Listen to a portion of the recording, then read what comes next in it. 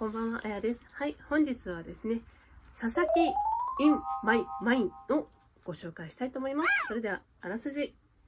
俳優になるために上京したものの、泣かず飛ばずの日々を送る27歳の行事、藤原季節くんですね。彼はある日、高校時代に圧倒的な存在感を放っていた同級生、佐々木。これが細川岳くんと仲間たちとの日々を思い起こす常に周りを巻き込みながら爆発的な生命力で周囲を魅了していく佐々木。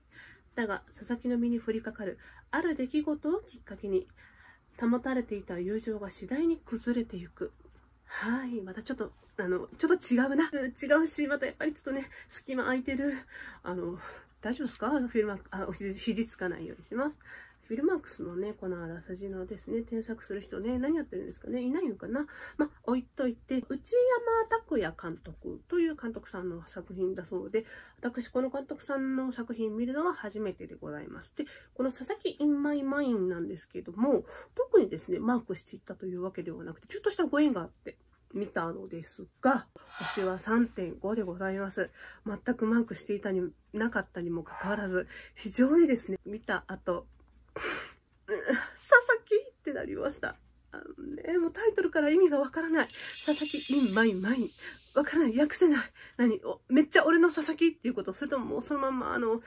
や山のような佐々木っていうことなのかちょっと全然わからないんですけど、とりあえず、佐々木 in my mind というですね、このタイトルからあの物語を想像できる人ほとんどいないと思います。なので、このですね、タイトルをつけたの、まあ、パルコなのかちょっとわからないんですけども、タイトルをつけた人かなり英断だと思います。良いタイトルかなと思いますね。はい。というわけでですね、さっきあらすじにもあった通り、この藤原季節くん、これ、主人公ですね。これ、あれ、私の光の当て方がおかしいわけじゃないですよ。こういう、あの、チラシなの。で、この藤原季節くんが、あの、東京で暮らしてる中津飛ばずの、まあ、俳優さんと、まあ、バイトといろいろやりながら生きてて、ぼーっとしてるんですね。別れた彼女と、もともと同棲してて、別れた後まだ一緒にちょっとダラダラ暮らしているみたいな感じの子なんですね。で、なんか後輩の俳優さんは売れちゃって、で、その後輩からですね、すっげえ尊敬されてて、一緒に舞台やりましょうよとか誘われても、なんかちょっとね、斜に構えた感じで、いや、お前と違って俺才能ねえから、みたいなことを言っててるんですけども、まあ、その後輩はですね、あの、この、季節くん、えっ、ー、と、まあ、ゆうじのことをすごく尊敬してるから、2人で舞台をやろうと言ってですね、ロンググッドバイという舞台をやろうって誘ってきます。ちなみに私、ロンググッドバイって、あの、レイモンド・チャンドラーのやつしか知らないんですけど、それとはなんか違うっぽい話でした。はい。というわけでですね、その、この光っているのの裏がね、佐々木がいるんだよ。よいしょ。はい、こいつが佐々木でございますね。彼見たことあるような気がするんですけど、私、季節くん、その友人役の藤原季節さんは、ヒズの、あ、あの、紐の人だと思って、それしかちょっと思い浮かばなかったんですけど、この佐々木役の、えっ、ー、と、細川岳さんっていうのかな。この映画の佐々木役を見たら、もう忘れないと思いました。はい。それぐらいですね、ちょっとインパクトの強いあの役でございました。ちょっと思い出したのがね、森岡隆監督のニュータウンの青春っていう、卒業制作で作られた映画なんですけども、今ちょっと俳優さんとして活躍している森岡隆さんが初監督された作品で、えっ、ー、と、一緒に出ていてですね、飯田康さんだっけ飯田博さんだっけが、先輩という役で、ちょっとで変わった人の役をやってた、それを思い出しましたね。それぐらい、えっ、ー、と、ちょっと似ているし、かつですね、よくわからないキャラクターでございます。で、その藤原季節くん演じるユージが、時折思い出すんですね、佐々木のことをで、あの、なんだろう、友情が保たれていたってこれ書いてあるんですけど、別に友情保たれてないんですよ。高校時代はすごく仲良くて、この他にも、えっ、ー、とね、2人ぐらいですね、つるんでる仲間がいて、そのうちの1人がなんかあの、キングヌーかなんかの、あの、子らしいです。すいません。ちょっと私最近のバンドわからなくて、読み方にも合ってるかわかんない。で、4人組の仲良しの中のうちの佐々木っていうやつ1人が、こいつが結構で、あの、結構変なやつなんですよ。かなり自分を持ってる独特の世界の非常にですね、ちょっと形容しがたい感じの変わった男の子ではあるんだけども、その、友人とか友達とかの仲間だったんですね。みんなすっごく仲良しで、いい感じの、いい感じって言っても高校時代の友情ってすごい、あれ、ダラダラしてて、時間だけ持て余して金はないけど、一緒にいて、なんだろう、ゲームしたりですね、あの、この映画によく出てくるバッティングセンターでですね、遊んだり、カップラーメンを食べたりとか、自転車乗ってですね、遊んだりしてる仲間なんですけども、じゃあ卒業してからどうなったのかっていうと、卒業してから、あの、幼児と、主人公の幼児と、この佐々木ってですね、実は一回しか会ってないんですよ。だから友情が保たれたっていうか、そもそも友情は別に保たれてはない。ここはちょっと理想なんですけどね。で、久しぶりにですね、その現代の有事がですね、あの仕事してた、そこでですね、その4人組のうちの一人の多田っていう男の子と久しぶりに会うんですね。その時に、この間同窓会に佐々木も来てたけど、お前なんで来なかったんだよ。相変わらずだってあいつ、みたいな話が出るんですけども、その、季節くんが久しぶりに会ったのは、その同窓会とは違うところで、いきなり佐々木に呼び出されたんですよ。で、佐々木がその時にはですね、いつだったかな、23、4ぐらいの時にパチプロになってた時の佐々木に一度だけ会ったと。で、それからまたちょっと連絡が途絶えていて、そのただと久しぶりに会ったことで佐々木のことをですね、思い出したりとか、高校時代を思い出したりとかいう、ほぼですね、有事のあの、だらだらした日々に、そういえばこういうやつがいたなっていう回想で佐々木が入ってくるんですけども、実はこの忘れたように感じていた佐々木の存在があまりにも、実は実は有事の中で大きかったんですよね。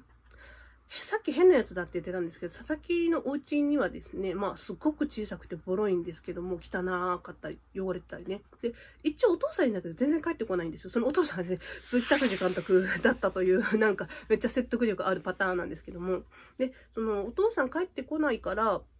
佐々木の家でみんないつもダラダラしてるっていうのが毎日だったんですけど、たまに帰ってくるとすごいなんかね、張り詰めた緊張感というか、なんか、え、帰ってくるの？みたいな感じだったりとか、で、たまにですね、あの、佐々木がふって寝てる時に、またお父さんがひょっと帰ってきてなんかゲームしてて、あ、じゃあちょっと俺も一緒にやろうかなって言ったら、じゃあ、あと1ゲームでもう家出るから、みたいな感じで結構スッといなくなったり、あんまりですね、子供とですね、コミュニケーションを取ろうとしないお父さんっていうのが佐々木の家族なんですね。そこからちょっと紐解くのには、ちょっと佐々木はもっとですね、あの、深いやつというかですね、佐々木がですね、もう言っちゃえばですね、佐々木はもうみんなの憧れでありですね、佐々木 in my mind というこのね、意味わかんないタイトルなんですけど、なんか見終わった瞬間もう佐々木 in my mind to me ってなりました。それぐらいなんかこう、佐々木が魅力的なんですけども、佐々木の魅力を口で伝えるの非常に難しいな。あの、その、ユージが高校生の時に進路ぼーっと迷ってるんですね。なんかね、役者になって大人になってもぼーっとしてるんですけど、実は高校時代からも割とぼーっとしたやつで、進路どうするかな。あの、なんとなく俳優になりたいな、みたいなの多分思ってたんだろうけど、口に出さないから誰もわからないんだけど、なんかね、佐々木が、お前は役者が向いてるよって言ってくれるんですよ。しかも勝手に言って、しかもそれを別にユージはなりたいとか言ってないにもかかわらず、めっちゃ応援してくるから、ユージもその気になって東京に行っちゃった節がもしかしたらあるのかもしれない。ただですね、現代のユージは、その、佐々木に言われてじゃあ役者になろうと思って東京に来たはいいものの、ほぼほぼ10年、特に売れることもなく過ごしているけども、10年そんなね、友達に言われたから続けられないですよね、好きじゃないと。っていうことはやっぱり佐々木は、ユージのことを見抜いていたっていうことかなって私は思いました。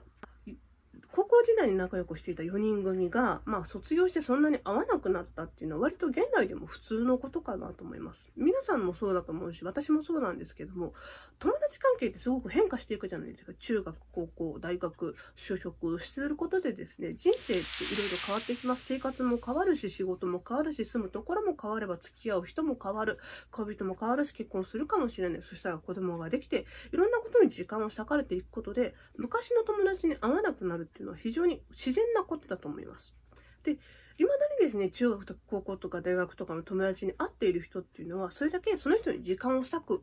ことに意味がある。それだけその人が大切って思ってるので、その大切な友達に出会えてる人はラッキーなんですよ。じゃあ、全然会ってなかったユージと佐々木とか、その4人組が大切にしてなかったかって言ったらそうではなくて、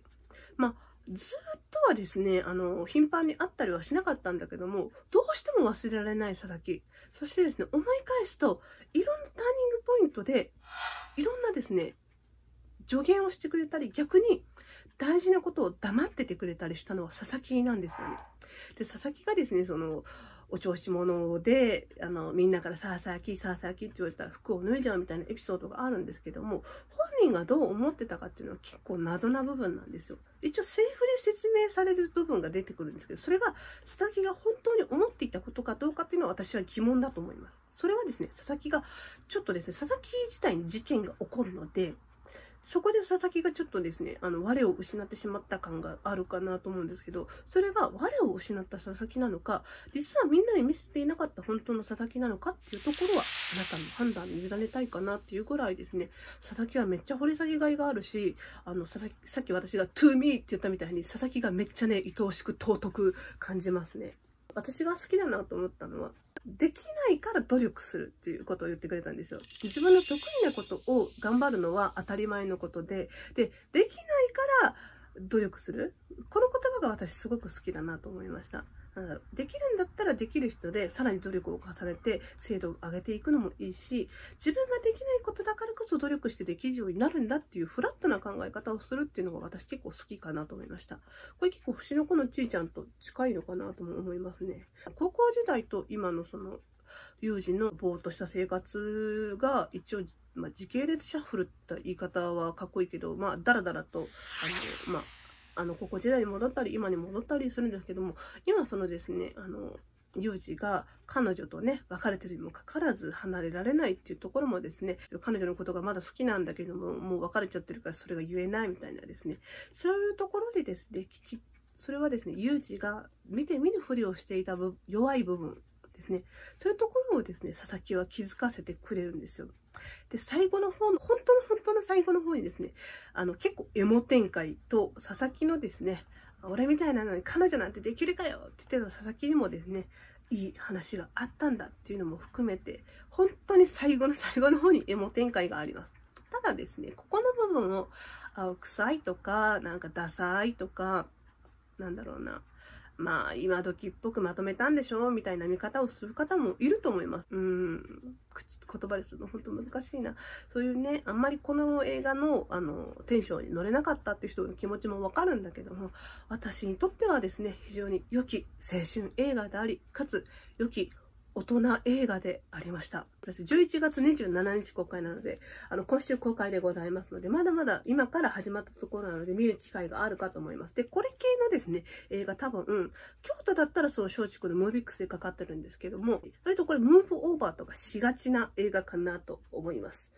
本当にね、他の3人の親友は佐々木に出会えてよかったなと思うし、あの、逆にね、バカな佐々木はね、こういういい友達のね、3人に出会えてよかったなと思うし、私も佐々木に出会えてよかったなと思いました。本当にね、親友描写の、あの、あいつがね、あの感じたところで遅れてくる時とか、あいつの、あの、あれがああいう風に作用したことによって涙が出てしまうとか、そう、細かい演出も結構うまいので、この内山監督私ちょっとあまり存じ上げなかったんですけども、これから結構チェックしていきたいかなと思います。こういうインディーズっぽいですね、青春映画とか、こういうのがお得意なのかなと思いました。とりあえずもう佐々木に出会えてよかったなというふうに私は本当に思いましたし、で、こういうふうにご縁があって、特にマークしてなかったんだけども、ばったり出会った映画が自分の胸に響くっていうことがあるから、いつも私は何も知らずに映画をあのポンポンポン、あ、時間があったからこれ見ようとか、あ、近くでやってるからこれ見ようとか、あ、これとこれを見たいんだけども、その間に時間があるからじゃあこれでも見るかとか選んだ作品がぐっと胸に来るようなですね、こう突発的な出会いっていうのをちょっと大事にしたいので、皆さんには勧めないですよ。あの、外れ引くことかなり多いので、この前情報を入れない映画の見方っていうのは全然お勧めしないんですけども、私はちょっとまだやっぱりこういうスタイルで映画を見て、思わぬところで正面衝突してグッとくる映画に出会いたいかなと思います。というわけで本日はですね、やっと届いたドライブインシアターのあの、クラウドファウンディングティーを着てみました。これ、裏にですね、いろんな方のサインとかが入ってたりして結構可愛いんですけどね、いつも忘れがちな、いわゆる、えっ、ー、と、高評価とチャンネル登録をお願いいたしますというのをお願いして、今日は終わりたいと思います。それでは、最後まで見ていただいてありがとうございました。バイバーイ。